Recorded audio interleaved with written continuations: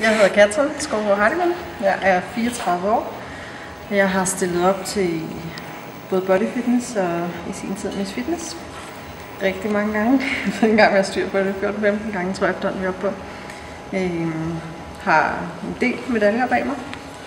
Øh, jeg har selv trænet i snart 20 år, tror jeg. Jeg har stillet op til konkurrencer gennem de sidste små 10 år. Øh, jeg har haft atleter, har vi haft sammen i hvad?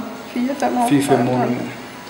Øh, uddannet personlig træner, kostvejleder, arbejder til daglig med at hjælpe folk med at tabe sig, komme i form. Øh, underviser lidt hold også, og så videre, men, men primært så øh, banker mit hjerte for det her med atleter, for dem i god form. Jeg elsker det her med, at man kan modellere kroppen, som man gerne vil have den skal se ud, og arbejde på detaljerne. Det synes jeg er det fede, i stedet for at man kun tænker på træningen, eller kun tænker på kosten som en helhed, men man går ned i de der bitte små detaljer, som kan gøre en stor forskel. Det synes jeg er rigtig interessant. Ja. Jamen, jeg hedder Martin øh, Hardemann, jeg er Katrins mand. Øh, vi mødte hinanden øh, igennem fitness øh, i tidens morgen. Øh, vi havde en fælles træner. Øh, jeg trænede til fitnesskonkurrencer, øh, ligesom Katrin. Og så, øh, ja, vi, vi mødte hinanden, og vi begyndte faktisk at være kærester øh, første gang, vi stillede op sammen. Øh, og så fik vi en eller anden idé om, at øh, vi synes at det var skide godt øh, at være del af en team, og det var på det tidspunkt, det var det ikke ret mange teams. De fleste folk, de stiller op for sig selv. Øh, så vi, øh, fordi vi havde fitnesscenter i København, så dannede vi øh, en team af nogle mennesker, der gerne ville stille op, og vi gik ud for et koncept, som vi kørte i forvejen i vores fitnesscenter, hvor folk kunne betale hvis, hvis pris, så kunne de øh, få alt det kostvejen, de ville gratis. Øh, og det kørte helt vildt godt. Øh, folk øh, kom til os og ville gerne have, at vi skulle hjælpe dem, og øh, vi begyndte sådan set op derfra. Øh, flyttede til Køge, og så øh, vi, vi bestemte os, at vi skulle, vi skulle fortsætte med det her. Øh, øh, så vi kaldte vores team Team Køge. Øh, for dem, der kender os fra gamle dage, hedder det Energy. Øh, I dag har vi så øh, 10 atleter, der skal stille op. Øh, godt ryg, øh, simpelthen fordi vi tager så os rigtig godt af vores, vores kunder. Øh, det er meget, meget vigtigt for os, at de er øh, med som team. Øh, det må vi gøre det på, det er, at jeg er også uddannet fitnessinstruktør på personlig træning. Jeg er også øh, slankekonsulent uddannet.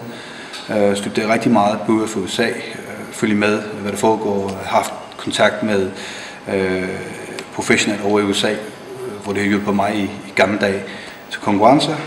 Øh, så vi, vi arbejder som team, hvor jeg har halvdelen, øh, hun har halvdelen.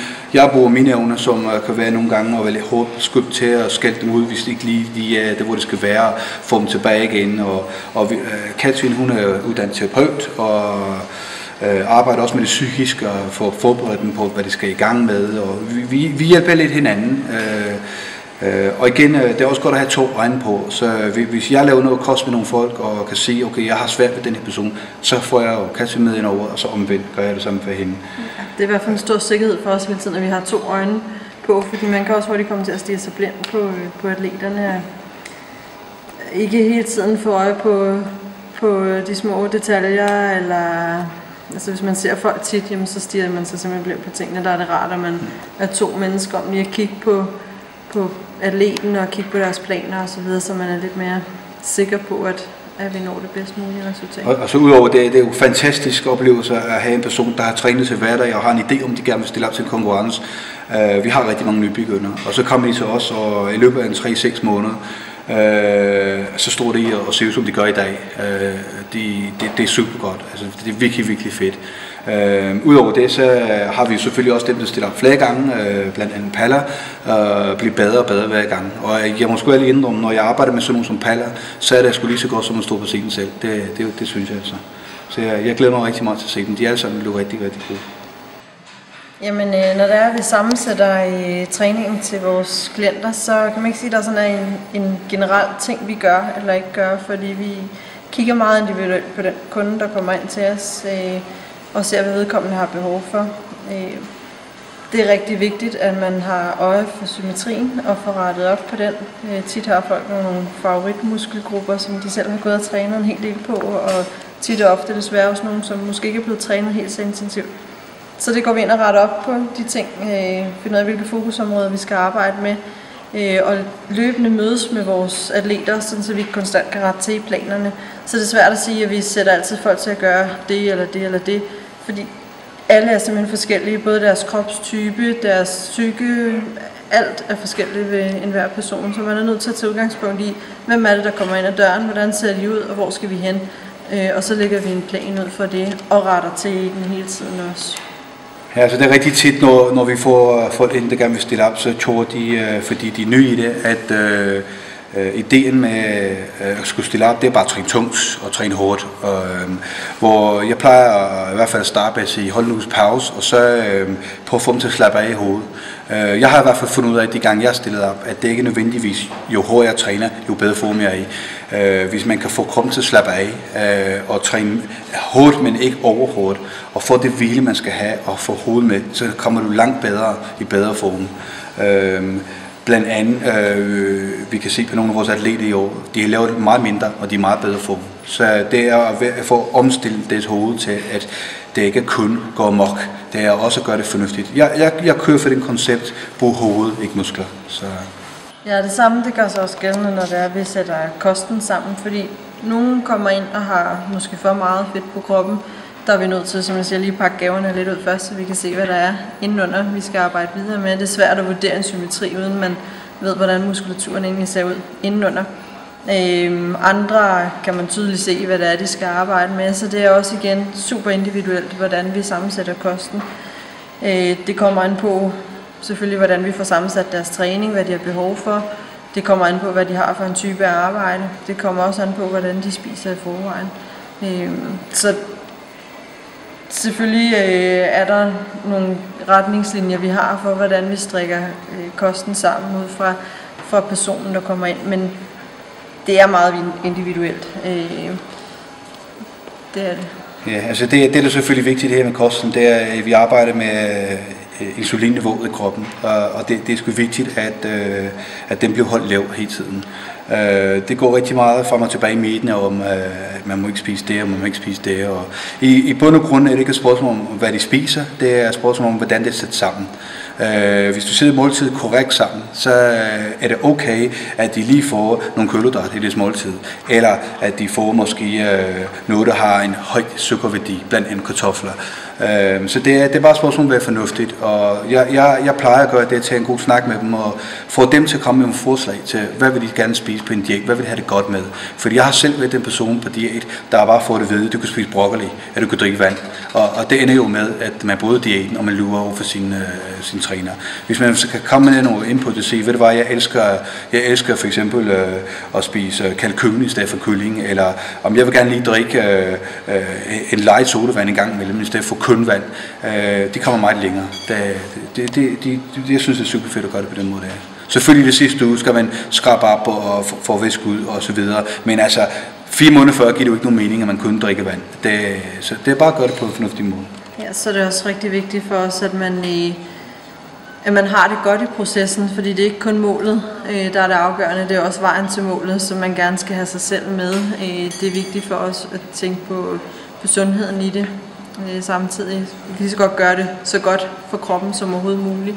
Øh, og i forbindelse med det også give kroppen noget at arbejde på. Gå ikke ind for de her ekstreme sultediæter. Man kan komme i langt bedre form, hvis man får de rigtige næringsstoffer. Det er lidt ligesom at bede en bil om at køre uden at hælde olie på. Lige så brænder motoren sammen, og det sker også for en krop vi er nødt til at give den noget at arbejde på. Det får vi det bedste resultat af i sidste ende. Jamen altså, øh, de sidste uger op til konkurrence, så er det jo et spørgsmål, om man skal have væsken ud af kroppen. Det gøres på en, øh, en bestemt måde. Øh, uh, alle folk gør det forskelligt. Nogle uh, drikker jo helt vildt meget vand uh, og, og holder op tre dage før, andre drikker helt vejen igennem. Jeg vil sige, at vi har prøvet alle måder. Uh, det er ikke en måde, der virker på alle. Uh, det, men det må vi gøre det på at lave nogle tester på vores atleter undervejs og se, hvad virker for dem. Øh, med hensyn til mad, det er helt individuelt, fordi nogen skal ned i classic bodybuilding, og så er øh, ligesom mig sidste år, det er ikke tid til, øh, det er ikke tid at plads til at spise ris. Altså, det, det, er, øh, det er få grundsager, så er det det. Andre kan få rigtig meget mad. Så, så det er ikke nogen bestemt ting, man skal gøre. Det er selvfølgelig standard ting, som alle træner gør, fjerne salt og så videre, og, og få de vitaminer og mineraler, man skal have. Men det er jo ikke nogen hemmelighed, der virker for alle, og hvis du først ved det som træner, så kommer du rigtig langt. Øh, når det er, vi kigger på øh, vores atleters poseringer, så øh, er det jo igen forskelligt fra person til person, øh, hvad det er, de har svært ved. Nogle har svært ved at få ryggen ordentligt ud, nogle har svært ved at få spændt ordentligt igennem i benene osv. Men det vigtigste, det er, at man øver røven ud af bukserne for at sige det mildt. Fordi der er ikke noget værre end at se en atlet, der står på scenen, og man kan tydeligt se, at vedkommende ikke har øvet sig på poseringerne, og ikke har fået hjælp til sine poseringer. Det kan gøre en verden til forskel, om man poserer rigtigt, eller man ikke gør. Så, øh, så vi kigger på, hvad, hvad, hvad passer til den atlet, hvordan får vi bedst mulig muskulaturen frem. Er det ved benet er lidt mere strakt, lidt mere bukket? Er det øh, den her måde, atleten ser bedst ud på, eller det er den her måde, skal ryggen mere ud, skal den mere sammen. Det er meget forskelligt fra person til person, hvad der ser bedst ud lige præcis på vedkommende. Men øv røven ud bukserne, det er i hvert fald det vigtigste. Det vil være tid. Jamen altså sidder man derhjemme og tænker, at jeg kunne godt tænke mig at prøve at stille op, så vil det bedste råd være at finde en, en træner, Team Køge for eksempel, som øh, kan hjælpe en, og som kan give en en vurdering af, hvad det er, man skal arbejde videre med. Det er super vigtigt, at man har nogen, som øh, har forstand på det til at hjælpe sig. Øh, og det er super vigtigt, at man holder sig til sin træner, man ikke begynder at blande alle mulige ting sammen, fordi der er lige så mange meninger om det, som der er mennesker.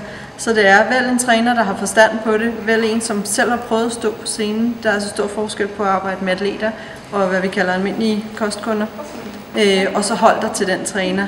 Aldrig blande tingene sammen. Man gør én ting. Jeg synes, det er vigtigt at for folk, der forstår, når de skal stille op til konkurrence, at det er ikke kun et spørgsmål om at stå på scenen. Det er kun et spørgsmål om at være så hacker, som man overhovedet kan være, så god form, som man kan være. Det, der er fedt for mig, det er simpelthen en del af teamet. Det er, når jeg står backstage, jeg ikke skal tænke på, hvor skal jeg være, hvornår skal jeg være det, har jeg de ting med. Når du er medlem af en team, din træner sørger for alt. Det eneste, du skal gøre, gør, hvad der står på planen. Udover det, så i stedet for at komme op og få en femteplads, så kan du rent faktisk komme op og få en anden plads, eller måske en første plads. Fordi du ved jo godt, at dine træner, de har helt styr på det. Og det kan du jo ikke have som ny kunde.